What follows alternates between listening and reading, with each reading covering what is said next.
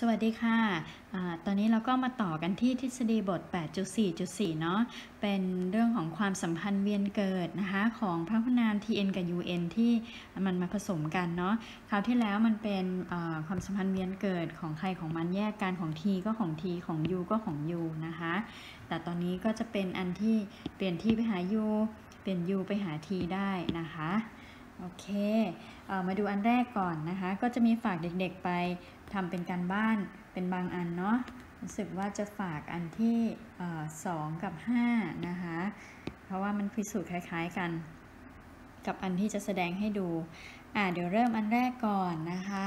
ก็แสดงว่า tn เนี่ยเท่ากับ un ลบ x un ลบ1เนาะอันนี้เดี๋ยวเราก็จะทำจากขวาไปซ้ายแล้วกันนะคะ ก็ใช้ความสัมพันธ์ตรีโกณช่วยเนาะสำหรับ พหุนามเชฟบิเชฟมันก็จะง่ายหน่อย อ่า พิจารณา อุ้ย un x ลบ x นะคะ un ลบ 1x นะคะ ตัวนี้ก็จากนิยามของ un มันก็คือ sin n บวก1เตต้าลบ x ก็คือ cos theta แล้วก็ un ลบ1นะคะ ก็จะเป็น sin คือความจริงมันเป็น sin n บวก1 theta หาร sin theta ใช่ไหมคะ แล้วนี้ก็เป็น sin n เตต้าหาร sin เตต้าแล้วเดี๋ยวครูก็เลยเอามารวมกันแบบนี้นะคะ แล้วก็หาร sin เตต้าทีเดียวเลยนะคะ ทีนี้ก็แค่แตกเนาะ sin a บวก b ก็จะเป็น sin a ก็คือ n เตต้า sin cos บวก cos sin ใช่ไหมคะ sin cos นะคะบวก cos แล้วก็ sin อ่าแล้วเราก็มี cos เ t ต้า sin n เ t ต้านะคะแล้วก็หาร ทั้งหมดนี้หาร sin เ t ต้าอย่างนี้นะคะ ก็ข้างบน ทำให้อยู่ในรูปอย่างง่าย cancel out ไหนบ้างอันนี้นะคะ ก็จะเหลือแค่ sin n theta cos theta หาร sin theta ก็จะได้เป็น cos n theta ขอโทษตรงนี้นะคะนะ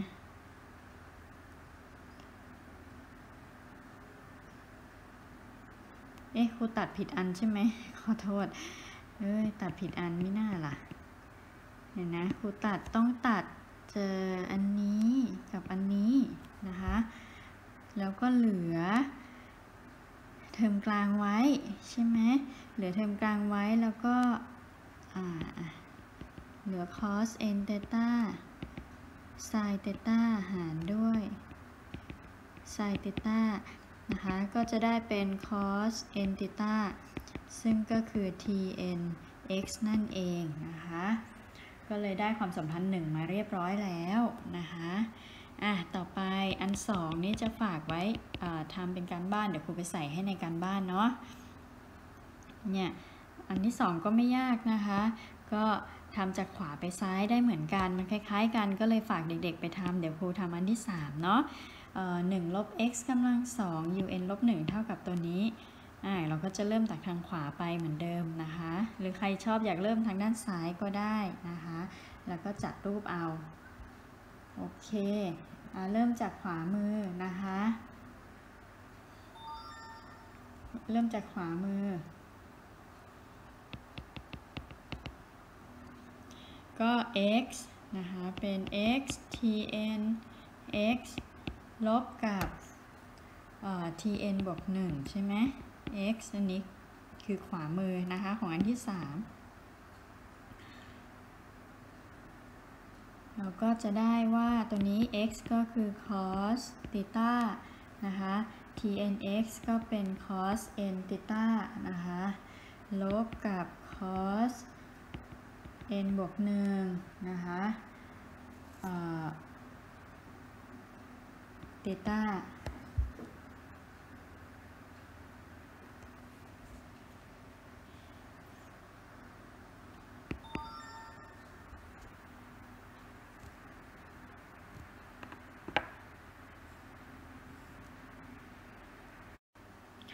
กระจายเทอมเนาะ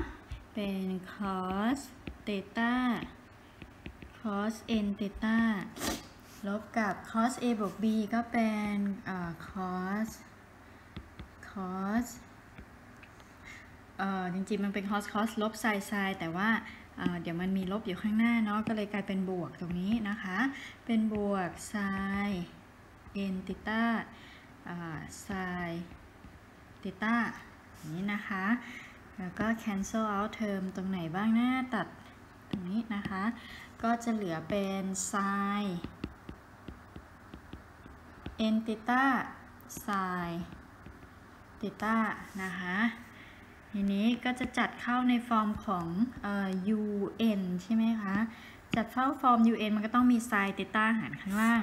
อ่า sin theta หารข้างล่างก็เลยต้องคูณ sin ทั้งบนข้างล่างก็จะกลายเป็น sin n theta sin theta กำลังสองหารด้วย sin theta ซึ่งตรงนี้ก็จะกลายเป็น un ลบหนึ่งใช่ไหมคะอ่าก็จะเป็น un ลบหนึ่งนะคะ x ทีนี้ sin กำลังสองอก็คือ 1 ลบ cos กำลังสอง theta ก็เลยกลายเป็น un ลบ 1x คูณกับ 1 ลบ x กำลังสองนั่นเองนะคะ ก็เรียบร้อยได้ความสัมพันธ์ 3 นะคะอะทีนี้ต่อไปเป็นเบอร์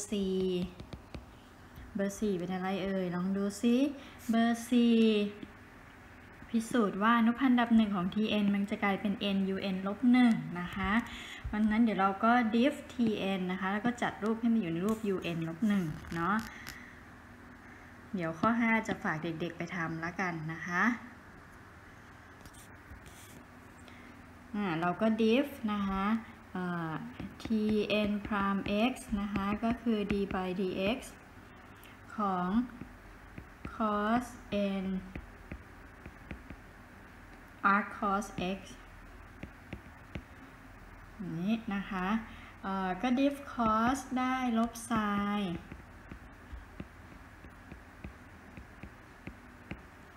แล้วก็ diff sin มัน ก็มี n อยู่ข้างหน้า diff arc cos ก็เหมือนเดิมทำหลายรอบแล้วเนาะ ได้ลบ 1 ส่วนด้วยเอ่อ root 1ลบ x ยกกำลัง2นะคะ ตัวนี้นะคะ ก็กลายเป็นจริงๆแล้ว ลบ ๆ เป็นบวกเนาะ sin n theta นะคะ แล้วก็มี n ส่วนข้างล่างเนี่ย x มันคือเอ่อ cos theta 1ลบ x กำลัง2ก็เลยกลายเป็น sin theta ทั้งหมดกำลัง2แล้วก็ถอดรูทก็เลยเหลือแค่ sin theta อยู่ข้างล่างนะคะถูกไหมอ่าจัดรูปเรียบร้อยนะคะ ซึ่งเอ่อไอ้ sin n theta มาอีกแล้วนะคะ ส่วน sin theta ก็คือ un ลบ1เพราะฉะนั้นเลยได้ว่า tn prime x เท่ากับ n un ลบ 1x แบบนี้นะคะ เรียบร้อย ส่วนเบอร์ 5 ฝากไปทำเป็นการบ้านเนาะ เดี๋ยวใส่ไว้ให้นะคะ ไม่ยากนะคะ ก็ค่อยๆ ดิฟค่อย ๆทำไปอย่างนี้นะคะ เก็บไว้ให้เด็กๆฝึกทำบ้างเนาะ อ่าซึ่งเราสามารถใช้ความสัมพันธ์เวียนเกิดที่เราพิสูจน์มาเนี่ยในการสร้างพหุนามเชฟบิเชฟได้นะคะ อย่างที่บอกก็คือเรารู้ทีศูนย์ทีหนึ่งจากรูปแบบ summation นั่นแล้ว จะหาทีอื่นๆ ก็ใช้ความสัมพันธ์เวียนเกิดแบบนี้นะคะ ได้ทุกอันเลยนะคะทีสองทีสองก็จะเป็น 2x 1เออ 2x ที1ลบที0ถูกไหมคะ ก็คือ 2x ที1เป็น x แล้วก็ลบ1กลายเป็น 2x กำลัง2ลบ1เดิม ที3ก็เป็น 2x ที2ลบที1ก็เป็น 2x คูณกับ ที2ก็ 2x กำลัง2ลบ1นะคะ แล้วก็ลบ x นะคะ ก็จะเป็น 4x กำลัง3ลบ 2x ลบ x กลายเป็นลบ 3x อย่างนี้ u ก็เหมือนกัน อ่า u 0 เท่ากับ 1 u 1 เป็น 2x ส่วน u ต่อต่อไปก็มาใช้ความสัมพันธ์เวียนเกิดอันนี้นะคะ ก็ u 2ก็เป็น 2x u 1ลบ u 0ก็เป็น 2x คูณ u 1คือ 2x ลบ 1 ก็จะเป็น 4x กำลัง 2 ลบ 1 u 3 2x u 2ลบ u 1ก็คือ 2x คูณกับ 4x กำลัง 2 ลบ1ลบกับ 2x ก็กลายเป็น 8x กำลัง 3 ลบ 2x ลบ 2x เป็นลบ 4x นะคะ เรียบร้อย ก็ไล่ไปเรื่อยๆ ก็จะได้อยู่อื่นๆนะคะ โอเค ก็อันนี้ก็จะเป็นความสัมพันธ์เวียนเกิดทั้งหมดของพหุนามเชบิเชฟทั้ง2ชนิดนะคะ ต่อไปก็เป็นสมบัติเชิงตั้งฉากเนาะของพหุนามเชบิเชฟนะคะ อันนี้ก็ใกล้จะหมดแล้วเนาะแล้วเดี๋ยวเป็นแบบฝึกหัดใช่ไหมคะไหนครูดูก่อนนะมีสมบัติเชิงตั้งฉากอ่าแล้วก็เป็นแบบฝึกหัดหมดละนะคะนนี้จะเป็นแบบฝึกหัดก็จะเยอะหน่อยโอเค บอกแล้วบทที่ 8 ที่ 9 ก็จะมีไม่ค่อยเยอะมากนะคะ ความจริงมันก็เนื้อหาพอสมควรแหละ แต่พอดีมันคุณสมบัติหรือเทคนิคอะไรต่างๆ เราทำมากันเยอะแล้วนะคะ เพราะฉะนั้นมันก็เลยทำไปไวได้ไม่ต้องอธิบายอะไรมากเนาะนี้ก็จะเป็นทฤษฎีบท 8.4.5 นะคะ เป็นสมบัติเชิงตั้งฉากของพหุนามเชบิเชฟนะคะ ซึ่ง พหุนาม Tn เนี่ยมีสมบัติเชิงตั้งฉากในช่วงลบ1ถึง1นะคะ โดยมีฟังก์ชันถ่วงน้ำหนักนะคะ ก็คือ w เท่ากับ 1 ส่วน 1 ลบ x กำลัง2นะคะมีเซตแล้วก็ square root ตรงนี้ด้วยนะคะ นี่เป็นเวทของเอ่อพหุนามเชฟบิเชฟ Tn สำหรับพหุนามเชฟบิเชฟ UN ชนิดที่ 2 เนี่ย เวทเขาก็จะคนละอย่างกันนะคะ แต่ก็ยังเป็นรูท1ลบ x กำลัง2 ของ Tn ก็คือ 1 ส่วนรูทนะคะ UN ก็จะเป็นรูทเลยอยู่ข้างบนนะคะ ก็เอ่ออยู่บนช่วงลบ1ถึง1ใช่ไหมเพราะฉะนั้นอินทิกรัลลบ1ถึง1 tm tn นะคะคูณกับเวทก็คือ 1 ส่วนรูท1ลบ x กำลัง 2 dx ตรงนี้นะคะ มันจะเป็น 0 ถ้า m ไม่เท่ากับ n แล้วเป็นพายส่วน2นะคะสำหรับ m เท่ากับ n แต่ว่าไม่ใช่ 0 แล้วมันจะเป็นพายถ้ามันเป็น เคสที่ m เท่ากับ n เท่ากับ 0 ก็คือ integral inner product ของ t 0 t 0ก็คือพายแต่ถ้าเกิดเป็น tn tn นั่นอื่นเนี่ยที่ไม่ใช่ 0 ก็จะเป็นพายส่วน2สำหรับ un นะคะ inner product อันนี้เป็นตัว weight นะคะ inner product นะคะของ um un ในเคสที่ m ไม่เท่ากับ n ก็เป็น 0 แต่ถ้าเกิดเคสเท่า m เท่ากับ n นะคะ มันจะเป็นพายส่วน 2 อันนี้ก็จะรวม 0 เข้าไปด้วยนะคะ เคสส่ง 0 ไปด้วยไม่ได้แยกมาเนาะ เดี๋ยวมาพิสูจน์ของตัวนี้กันนะคะ ของ un ก็ทำคล้ายๆกันเนาะ เดี๋ยวทำของ tn นะคะ ก็จะเป็นอินทิกรัลของไอ้พวกคอสทั้งหลายนี่แหละนะคะตีโกณนะคะไม่ยากอะดูกรณีที่ดูอันแรกก่อนนะคะของ t นะคะเชฟเชฟ t กรณีที่ m ไม่เท่ากับ n นะคะก็อินทิกรัลนะคะ tm tn นะคะแล้วก็คูณกับเวทเนาะ ก็เปลี่ยนนะคะเปลี่ยนจาก x นะคะตัวนี้ใช้ x เท่ากับ cos theta ถูกไหมคะ dx ก็เลย dx by d t h dx ก็จะเป็นลบ sin theta d theta อย่างนี้นะคะหนึ่งลบ x กำลังสองก็หนึ่งลบ cos กำลังสอง t n x ก็เป็น cos n เตต้าเนาะใช้อย่างนี้นะคะเปลี่ยนตัวแปรนะคะให้อยู่ในรูปของตรีโกณมิตินะคะทีนี้ขอบถ้า x เป็นลบ1 cos อะไรได้ลบ1ก็เป็นพาย x เป็น1 cos 0ก็เลยเป็น1นะคะเปลี่ยนขอบด้วยถูกไหมตัวนี้นะคะที่ x เท่ากับ 0 นะคะเตต้าก็คือพาย x เป็น เอ้ย x เป็นส่วนอืม x เป็นลบหนึ่ง x เป็นหนึ่งเตต้าเท่ากับศูนย์นะคะ โอเค ก็เลยได้ว่า นะคะ แปลงแล้ว tm ก็เป็น cos m เตต้า tn ก็เป็น cos n เตัวนี้ก็จะเป็น 1 ลบ cos กำลัง 2 dx ก็เป็นลบ sin เตต้า d เตต้านะคะจัดรูปต่อไป ก็สลับอินทิกรัลนะคะ จากพายถึง 0 ก็เป็น 0 ถึงพายแต่ว่ามันติดลบใช่ไหมคะ มันจะมีลบอยู่ข้างหน้า แล้วก็ลบลบเจอกันเป็นบวกนะคะ พอสลับปุ๊บเครื่องหมายติดลบข้างหน้านะแต่ว่าพอพอดีมาเจอลบตรงนี้เลยกลายเป็นบวกนะคะ แล้วก็หนึ่งลบคอสกำลังสองตัวนี้นะคะ แล้วใส่รูทด้วยมันคือไซน์ถูกไหมคะ รวมรูทด้วยนะคะไซน์ติต้านะคะ แล้วก็ตัดกันไป ก็เลยเหลือแค่บวกนะคะคอส m ติต้าแล้วก็ n ติด cos n ติต้าเนาะ d ติต้า อะก็เป็น cos cos นะคะ ก็คือ cos บวก cos 2 cos cos เนาะอ่าใช้ความสัมพันธ์มาช่วยนะคะ เป็น cos a บวก b cos บวก cos ใช่ไหม a ลบ b เท่ากับ 2 cos a cos b อย่างนี้นะคะ เพราะฉะนั้นเลยได้เป็น 1 ส่วน2อินทิกรัล0ถึง pi cos a บวก b ก็คือ m บวก n theta นะคะ บวกกับ cos m ลบ n theta เป็น cos m บวก n theta บวก cos m ลบ n เตต้า d เตต้าอะอินทิกรัลตัวนี้นะคะ แล้วเราก็อินทิเกรตมันนะคะ ตัวนี้ อินทิเกรต cos ได้ sin ใช่ไหมคะ m บวก n เตต้าส่วนด้วย m บวก n นะคะ แล้วก็บวก sin m ลบ n ติต้า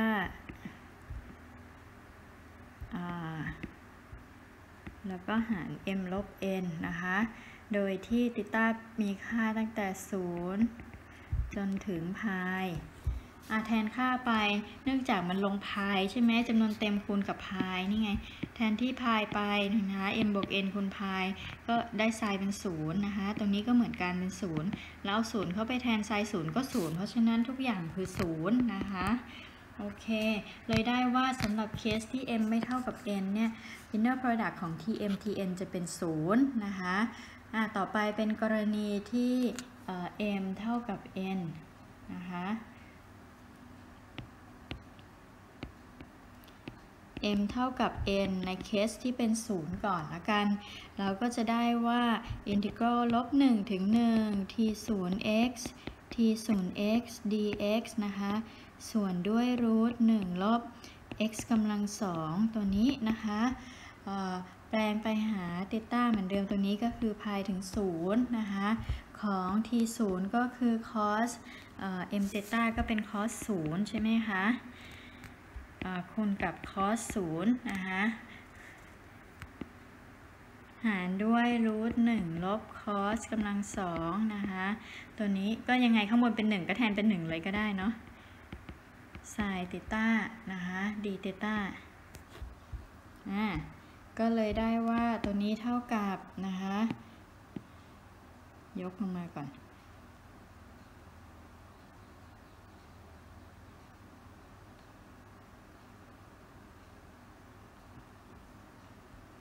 อ่าอันนี้ก็เท่ากับนะคะสลับอินทิกรัลก็เครื่องหมายออกมาเป็นบวกเนาะอินทิกรัลศูนย์ถึงพายนะคะของก็ไซเตต้าก็ไซเอ่อเห็นไหมไซอันนี้อ๋อ n ใช่ไหมนี่ n ไซเตต้าหันไซเตต้าเนาะ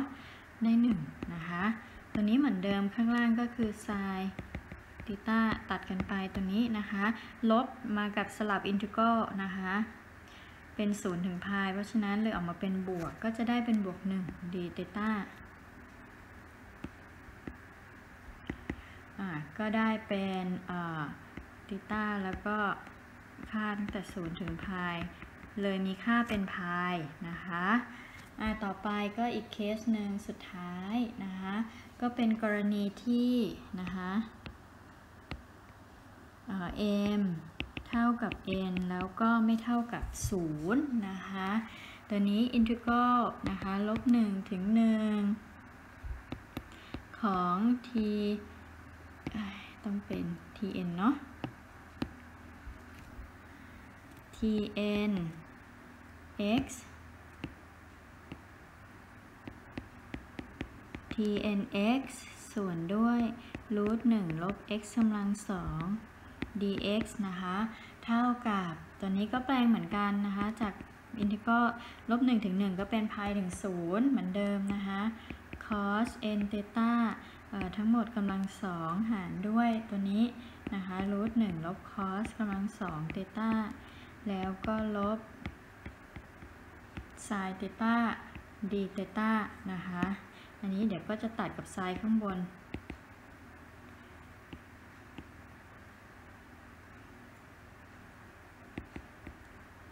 ตัดกันนะคะ แล้วก็สลับอินทิกรัลตัวนี้ก็จะเป็นสลับขอบนะคะ เป็นตัวนี้นะคะแล้วก็ cos กำลัง2 n ต t a d เตต้าก็ใช้สูตรตรีโกณเหมือนเดิม เพราะว่าเราอินทิเกรต cos กำลัง 2 ไม่ได้ ต้องแปลงเป็น cos เฉยๆ ก่อนไม่มีกำลัง ก็ใช้สูตรมุม 2 เท่าใช่ไหม cos 2เอ่อ x เท่ากับเอ่อ2 cos กำลัง2ลบ1ใช่ไหมคะ cos 2 x เท่ากับ 2 cos กำลัง 2 x ลบ 1 เพราะฉะนั้น cos กำลัง 2 ก็เลยเป็น cos 2x บวก 1 ส่วน 2 นะคะ เอา 1 ส่วน 2 มาไว้ข้างหน้า ตัวนี้ก็จะเป็น 1 บวก cos 2x x ก็คือ n เตต้านะคะ d เตต้านะคะก็จะได้เป็น 1 ส่วน2เตต้า อินทิเกรต cos ได้ sin 2 n เตต้าหารด้วย 2n ใช่ไหมคะ แทนค่าติต้าตั้งแต่ 0 ถึงพายแทนพายไปเทอมหลังก็ 0 ใช่ไหมคะ ตัวนี้1ส่วน2ก็จะเป็นพายบวก 0 ลบ 0 เอาติต้าเข้าไปใส่ใน เอาพายเข้าไปใส่ในนี้ไซน์ 2n พายมันได้ 0 เขียนให้ก็ได้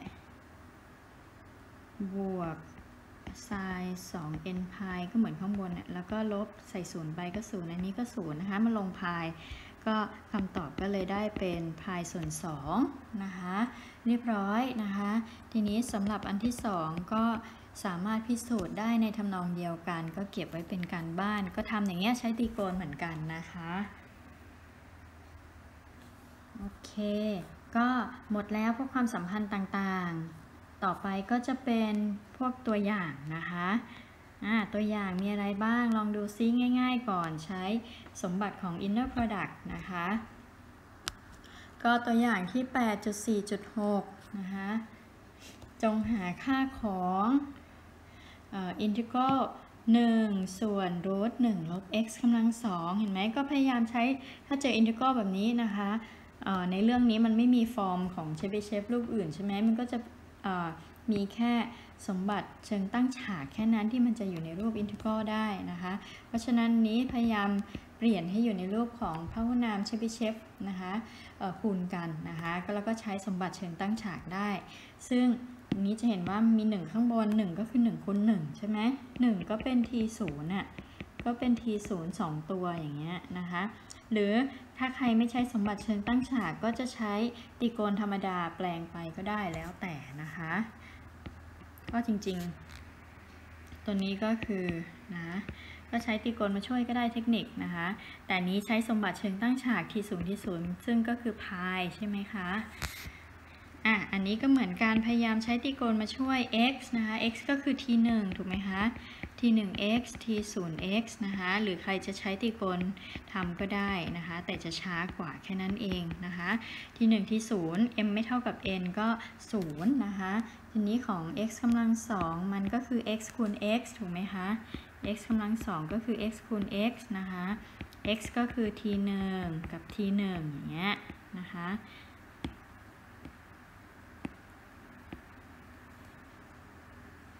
ส่วน รูทหนึ่งลบ x กำลังสองก็ใช้คุณสมบัติของ inner product ตัวนี้ก็จะเป็นพายส่วน 2 ก็คือเคสที่ m เท่ากับ n แล้วมันไม่เป็น 0 แค่นี้เองง่ายๆเนาะอ่ามาดูต่อนะคะ ต่อไปให้หาค่าของ 3u 10ที่ลบ1เห็นไหมที่ขอบซ้าย แล้วก็ t 7ที่ขอบซ้ายและ t 1000ที่ 0 ก็ใช้สมบัติทั้งนั้นเลยนะคะ อันนี้ก็จะได้มาเป็น 3 อ่าไปดูซิ u 10 คืออะไรนะ กลับขึ้นไปดูข้างบนนะคะ มี u ใช่ไหมแล้วมี t ที่ลบ1กับ0ลองดูค่าของพหุนามเชฟบิเชฟข้างบน อ่ามี t t t ที่ลบหนึ่งนะคะ ก็คือลบหนึ่งกำลัง n เมื่อกี้เป็นมี t ที่ศูนย์ด้วย t ศูนย์ก็คือลบหนึ่งยกกำลัง n ส่วนสองนะคะ ที่ศูนย์จะเป็นตัวนี้ แล้วก็ u นะคะ un ที่ลบ1ใช่ไหมคะ ก็เป็นลบ1กำลัง n คูณกับ n บวก1นะคะ โอเค เป็น u ก่อนเนาะ ลบ1กำลัง n คูณ n บวก1นะคะ อะ u 10ที่ลบ1ก็คือลบ1กำลัง n ลบ1กำลัง 10 คูณ n บวก1นะคะ มี 3คูณข้างหน้าด้วย t 7ลบ1 tn ลบ1ก็คือลบ1กำลัง n เพราะฉะนั้นเป็นลบ1ยกกำลัง7นะคะบวกกับที่ 0 ก็เป็นลบ1ยกกำลัง n ส่วน 2 ถูกไหมคะ ก็คือลบ1ยกกำลังพันหาร2นะคะ เท่ากับ11คูณ3 ได้ 33ลบ1บวก 1 ใช่ไหมคะ ก็เลยตอบ 33 มานะคะ เหลือที่ไว้ตั้งเยอะ เดี๋ยวขยับหน่อยเนาะ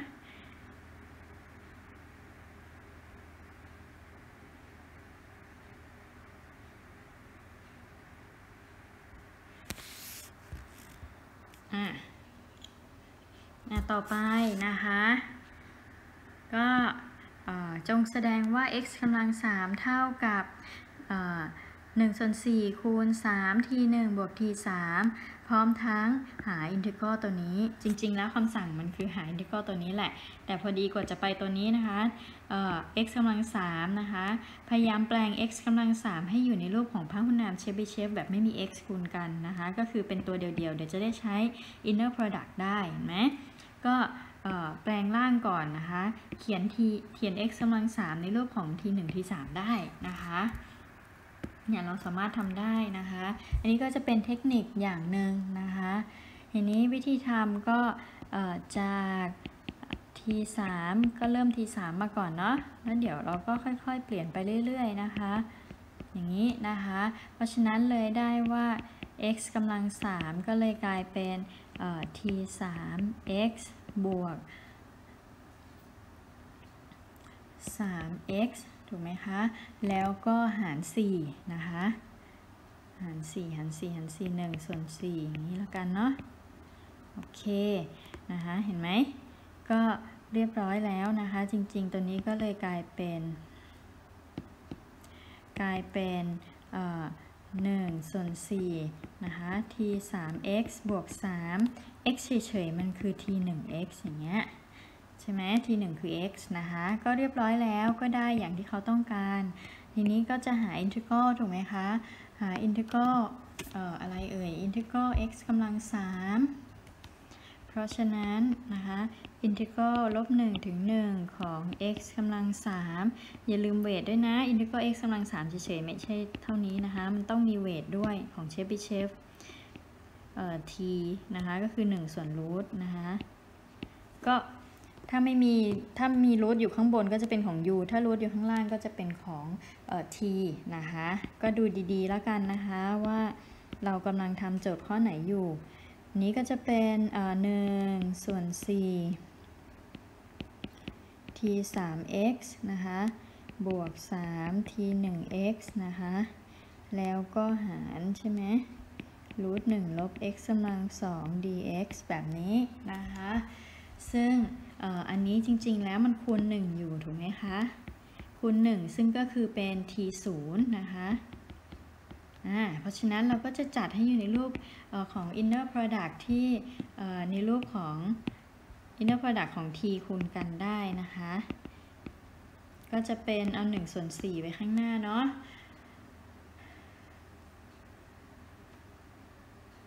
อืม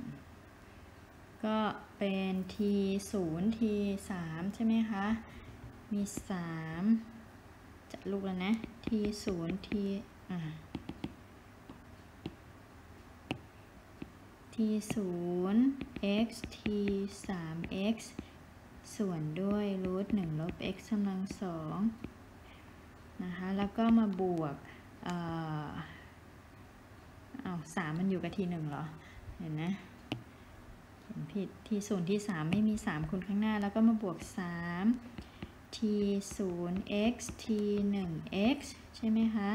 ส่วนด้วยรูท1ลบ x กำลัง2ตัวนี้นะคะ dx เพราะฉะนั้นเลยเป็น1ส่วน4นะคะคูณด้วย t 0 t 3ก็0นะคะ t 0 t 1ก็0เพราะฉะนั้นข้อนี้ก็ตอบ0นะคะ อ่าเรียบร้อยนะคะทำมาตั้งนานตอบ0นย์นะคะ ก็จากตรงนี้เนี่ยข้อสังเกตก็คือเราสามารถเขียน x กำลัง n ในรูปของ tn ได้นะคะ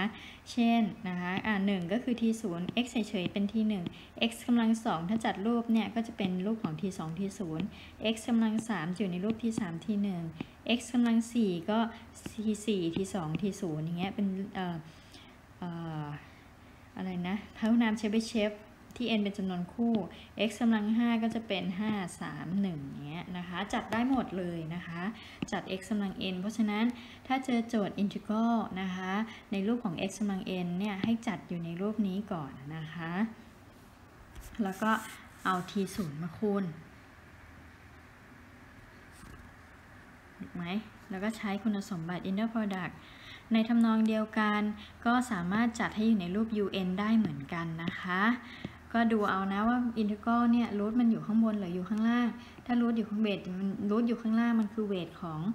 พหุนามเชฟเชฟ tn แต่ถ้ารูทหนึ่งลบ x กำลังสองอยู่ข้างบน มันจะเป็นเวทของพหุนามเชฟเชฟ un นะคะโอเค อ่า มันก็จะเป็นเทคนิคในการทำโจทย์แบบต่าง ๆ เนาะอ่าเดี๋ยวเรามาดูแบบอีกแบบหนึ่งก็คือ อันนี้ครูก็ถามบ่อยๆอยู่เหมือนกันเนาะในแบบฝึกหัดก็มีนะคะ ก็หาผลเฉลย ก็เด็กๆควรจะทราบว่าผลเฉลยของสมการเชิงรูปพันธ์แต่ละแบบเนี่ยผลเฉลยมันเป็นฟังก์ชันพิเศษแบบไหนนะคะ หรือถ้าให้ฟังก์ชันพิเศษมาแล้วถามหาสมการของมันอย่างเงี้ยก็ควรจะเขียนได้นะคะก็ตัวอย่าง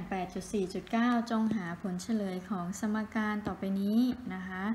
ก็คือ1ลบ x กำลัง2อนุพันธ์ดับ 2 ลบ x อนุพันธ์ดับ 1 บวก 9 เท่ากับ 0 อันนี้ก็จะเป็นสมการของพหุนามเชฟบิเชฟ tn ธรรมดา ถูกไหมถ้าลองดู ส่วนข้างล่างเนี่ยมีลบ 3 อยู่ข้างหน้าเนี่ยก็จะเป็นของออ un ถูกป่ะนะเพราะฉะนั้นข้อ A นะคะอันนี้ก็สมการนี้นะคะ เป็น สมการอของพหุนามเชบิเชฟชนิดที่หนึ่งนะคะ โดยมี จากตรงนี้นะคะ n ก็เลยเป็น n กำลังสองใช่ไหม เป็น 9 นะคะ ก็จะได้ n เท่ากับบวกลบ 3 ถูกไหม ซึ่ง n เป็นบวกก็จะเอา n เป็น 3 นะคะ เพราะฉะนั้นนะคะ ผลเฉลยของสมการก็คือนะคะ yx เนี่ยเท่ากับนะคะ c คูณ t 3x นะคะ ก็เลยกลายเป็น c 3 ถ้าเกิดรู้ก็เขียนไป 4x กำลัง3ลบ 3x อย่างนี้นะคะ ก็ข้อ b นะคะเเป็นผลเฉลยของเชฟปี้เชฟชนิดที่ 2 ถูกไหมคะ สมการนี้นะคะ เป็นสมการของพหุนามเชบิเชฟนะคะ เชบิเชฟชนิดที่ 2 นะคะ โดยมีนะคะเชฟวิเชฟชนิดที่ 2 ก็ตรงนี้ใช่ไหมคะ มันจะเป็น n คูณกับ n บวก 2 ถูกไหมสมการของมันนะคะ ลองกลับไปดูก็ได้นะคะไหนเชฟวิเชฟชนิดที่ 2 นี่ตัวนี้นะคะก็คือตัวนี้จะเป็น n คูณ n บวก 2 นะคะอยู่ไหนละ เราก็ใกล้จะจบแล้วนะเนี่ย โดยมีนะคะเอ่อ n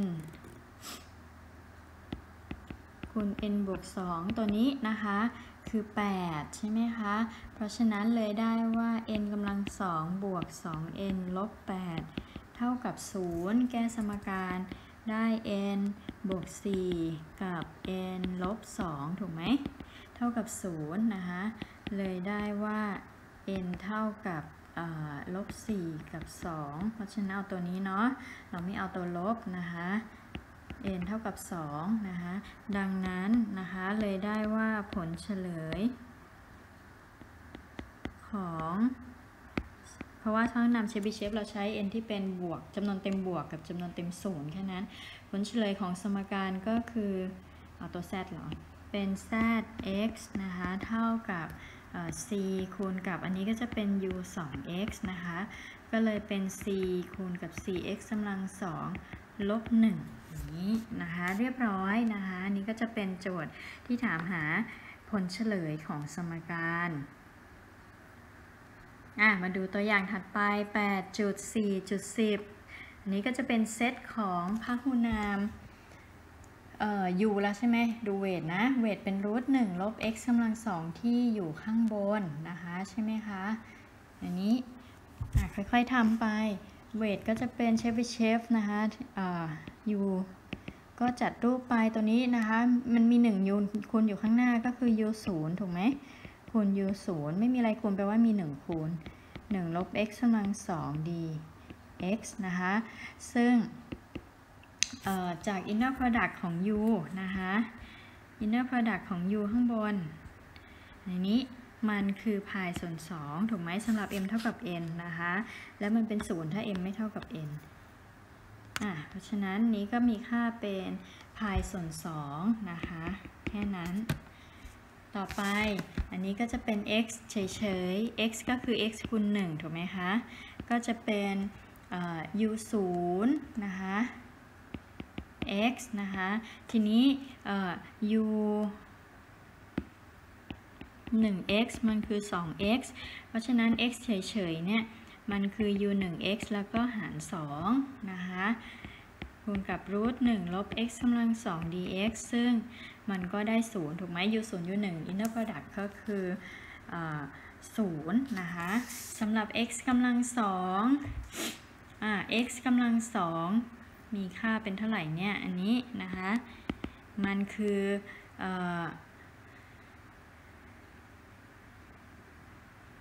x คูณกับ x ใช่ไหมนี้นะคะ x กำลังสองคุณทำอะไรเนี่ย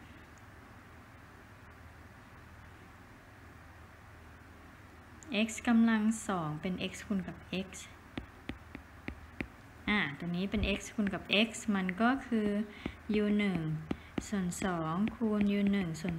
2เขียน u ไม่สวย u 1ส่วน2นะคะรูท1ลบ x กำลัง2 dx อย่างนี้นะคะก็เท่ากับอินทิกรัลลบ1ถึง 1 มี 1 ส่วน 4 ข้างหน้า คูณกับ inner product ของ u 1 u 1รูท1ลบ x กำลัง2นะคะ ก็เลยได้เป็น 1 ส่วน 4 คูณพายส่วน 2 เป็นพายส่วน8นะคะโอเคอะต่อไปให้หา summation ของ integral um un นะคะตัวนี้ก็ไม่ยากก็ทำ sum ไป ก็จะมีอยู่ 3 เทอมเนาะก็จะเป็น integral นะคะ inner product ของ u 0ครูใช้ย่อนะ ไม่วงเล็บ x แล้วนะ u 0 u 0 1ลบ x กำลัง2 dx บวกลบ1 integral ลบ1ถึง1 u 1 u 1 1ลบ x กำลัง2 dx ก็เอามาบวกกันเรื่อยๆเนาะง่ายๆนะคะไม่ยากนะคะ แล้วก็เป็นก็ u 2 u 2แต่ว่าเดี๋ยวโจทย์ให้ทำก็ต้องคิดนิดนึงนะคะอะอันนี้ก็เป็นพายแต่ละอันมันคือพายส่วน 2 ทั้งหมดเลย คำตอบก็เลยเป็น3พายส่วน2แค่นั้นเองนะคะ โอเค อันนี้เป็นโจทย์เบาๆเนาะฝึกให้คิดนะคะทำความคุ้นเคยกับมันอะต่อไปก็จะเริ่มยกระดับขึ้นมานิดนึงเป็นโจทย์ข้อสุดท้ายแล้วมั้งอันนี้เนาะก็ให้หาค่าของ x คูณกับ tnx นะคะ เหมือนเดิมเดี๋ยวเราก็ต้องจัดให้อยู่ในรูปของ พหุนามเชฟวิเชฟคูณกันนะคะ ซึ่งอันนี้ก็ไม่ยาก x เราก็รู้อยู่แล้ว เพราะฉะนั้นอินทิกรลลบ1ถึง1 x tnx หารด้วยรูท1ลบ x กำลัง2 dx นะคะ ก็เลยเป็นอินทิกรลบ1ถึง1นะคะของ x คือ t 1นะคะ x นะคะ tnx แบบนี้นะคะ ส่วนด้วย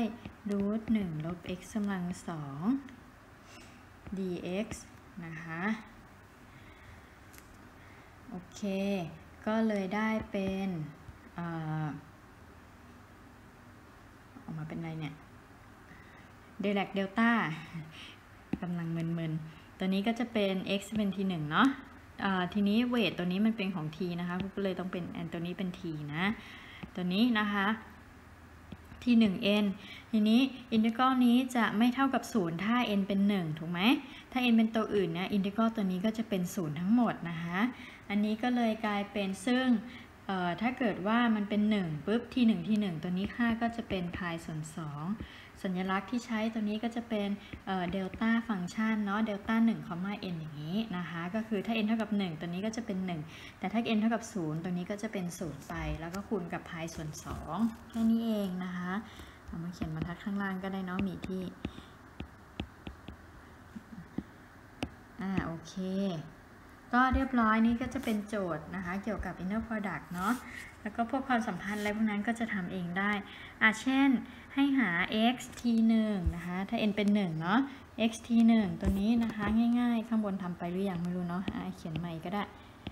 x t 1 x นะคะ ส่วนรูท1ลบ x กำลัง2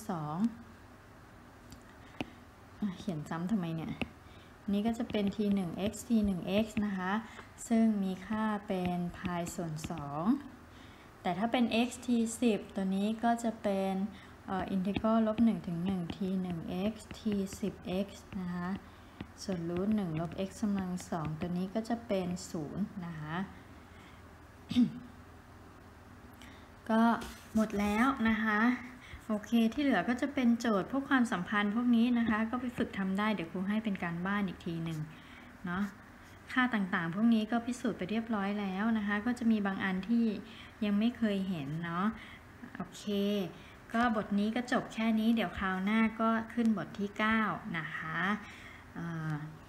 สวัสดีค่ะ